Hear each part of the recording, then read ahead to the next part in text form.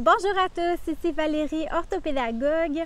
Aujourd'hui, je vous fais une vidéo spéciale sur des livres qui sont des indispensables en éducation pour moi, autant pour les intervenants que pour les parents, afin de mieux comprendre les enfants en difficulté.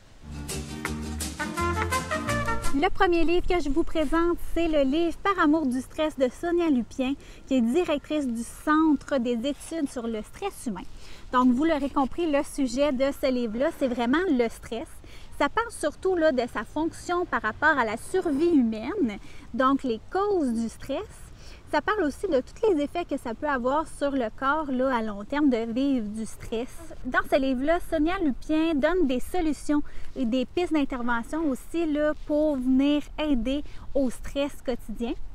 Et pourquoi j'allais choisir ce livre-là? C'est pour moi, en fait, là, un indispensable dans toutes les bibliothèques, dans vos maisons. Autant pour vous comprendre, vous, avec le stress que vous vivez, hein, qui est de plus en plus présent dans nos vies. Donc, mieux se comprendre permet de mieux aider notre enfant aussi qui vit du stress. Et c'est un livre aussi pour les intervenants. Donc, euh, ce livre-là est très, très bien écrit. Oui, c'est un peu théorique. Là, on parle de certains aspects là, qui ont été étudiés dans les recherches. Par contre, là, c'est vraiment très, très bien expliqué. Il y a même des notes à la fin là, qui nous permettent de bien comprendre les concepts qui sont énoncés. En plus, il y a des témoignages, il y a des exemples. Donc, ça nous permet vraiment de concrétiser toute cette théorie-là qu'on vient de lire.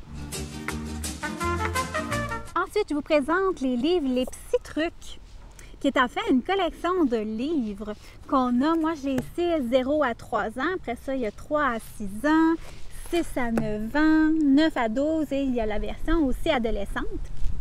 Les petits trucs, c'est écrit par Suzanne Vallière, qui est une psychologue. En fait, là, ces livres-là sont assez petits, hein? c'est un bon format pour la lecture. Et c'est des livres qui sont assez épurés, donc ça nous permet là, vraiment de euh, trouver les questions, trouver le sujet qui nous intéresse, aller cibler vraiment euh, ce qu'on veut apprendre. Il y a plusieurs façons justement de lire ce livre-là. On peut le lire euh, aussi euh, de façon à suivre la progression du développement de l'enfant.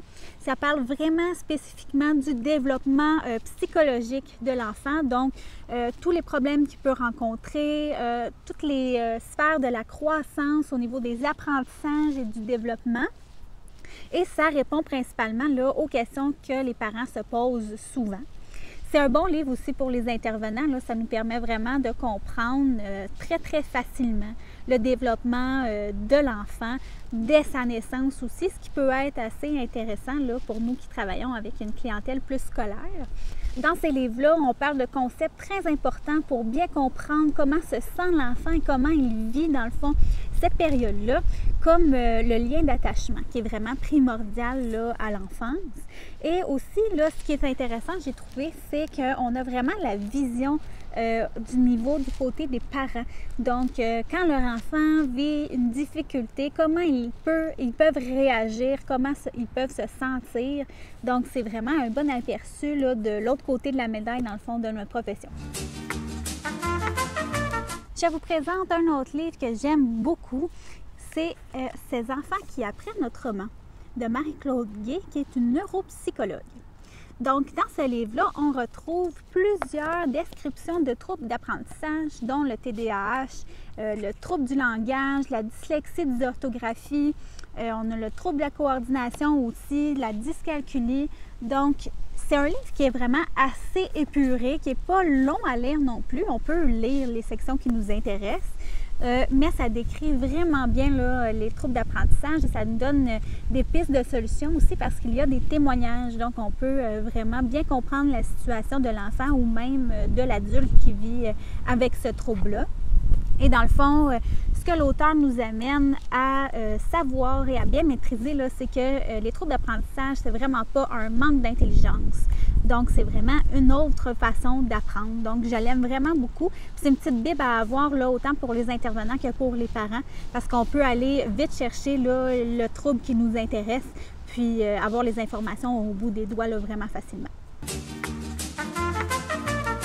Le quatrième livre que je vous présente, c'est en fait une série de livres. Moi, j'ai euh, la version Dyslexie et dysorthographie, la boîte à outils qui est écrit par Annie Tessier, qui est orthopédagogue. et par Prisca Poirier, qui est une enseignante. Euh, il y a aussi sur le TDAH, sur l'autisme, sur l'anxiété, même pour la période des devoirs. Donc, euh, c'est vraiment une collection très, très, très intéressante chez les éditions de la Mortagne. Et euh, ce livre-là, je l'affectionne particulièrement parce que c'est ma clientèle, notamment en orthopédagogie. Mais aussi, là, ces types de livres-là ont vraiment beaucoup, beaucoup, beaucoup d'outils et d'activités à faire avec euh, les enfants qui vivent avec un trouble de, là, c'est la dyslexie, la dysorthographie, mais avec le trouble euh, qu'on décrit dans le livre. En fait, là, c'est plus de la moitié du livre là, qui va être relié aux activités, dans le fond, que vous pouvez faire avec ces enfants-là. Et c'est un livre euh, idéal pour les parents, puisque quand on se fait annoncer un diagnostic, des fois, on ne sait pas trop euh, par où commencer. On ne comprend pas nécessairement aussi euh, toutes les facettes du trouble. Donc, c'est vraiment une bonne Bible à avoir pour les parents. C'est très, très facile à lire. On n'est pas vraiment dans la théorie très, très dure. Là. Il y a des images, des tableaux et on peut aller repérer justement l'information qu'on désire. Et euh, c'est facile aussi parce que euh, c'est des mots faciles, donc l'enfant pourrait aussi comprendre plus facilement que si euh, je lui lisais le livre de Sonia Lupien, par exemple. Dans ce livre-là, il y a aussi une section sur les aides technologiques. Donc, ce qu'on met en place à l'école ou au privé là, pour aider votre enfant. Des fois, ça peut être flou. Là. on donne un ordinateur à votre enfant, mais on ne sait pas trop, en fait, qu'est-ce qu'il fait sur cet ordinateur-là. Donc, ça vous permet vraiment de comprendre en quoi cet outil-là est nécessaire pour aider votre enfant. Finalement, le dernier livre que je vous présente, c'est Non aux étiquettes, qui est écrit par euh, Martine Latulippe et Phil Poulain. Et c'est un recueil de 18 témoignages de Québécois et Québécoises qui ont euh, vécu des belles histoires, des belles réussites avec leur trouble d'apprentissage et non malgré comme vous pouvez voir. Donc, on a vraiment, vraiment la vision du livre dès euh, la page couverture. Donc, on explique à travers ces témoignages-là que euh, les enfants avec un trouble d'apprentissage sont des enfants comme les autres. Ils peuvent vivre des belles réussites et aller aussi loin que les autres. Et ça donne des trucs pour essayer de continuer d'être persévérant et euh, des conseils aussi pour pouvoir progresser et euh, vivre sa vie à son plein potentiel, là, même si on a des difficultés au travers le parcours. Donc, c'est des témoignages euh, assez courts. Là, on parle euh, de 4 à 6 pages qui sont qui sont petites comme ça, c'est illustré assez gros. le texte est fait aussi pour les enfants en difficulté de lecture. Donc, ce qui est vraiment bien, là, c'est une belle police. Euh, donc, après chaque histoire, on retrouve le conseil de la personne. Et c'est des personnes comme vous et moi, là. C'est pas euh, des vedettes nécessairement qui ont euh, partagé leur histoire. C'est vraiment monsieur, madame, tout le monde, là, qui pourrait être notre voisin, par exemple. Donc, ce livre-là, je l'aime vraiment beaucoup. Euh, on met ça dans notre bibliothèque hein, pour euh, lire ça en famille. Là. Pour les intervenants, ça peut être pratique aussi. Là, c'est des bonnes histoires euh, avec des bons conseils à maintenir.